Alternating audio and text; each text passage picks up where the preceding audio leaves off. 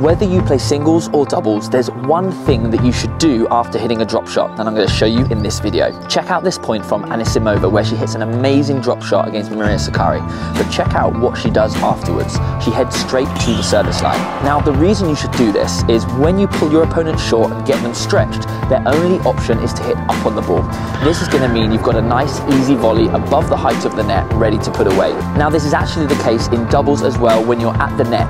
If you hit a drop shot, you should track back towards the service line, as just like before, your opponent has to hit upwards, they're likely to try to lob you. That's going to give you a much easier opportunity to hit the overhead.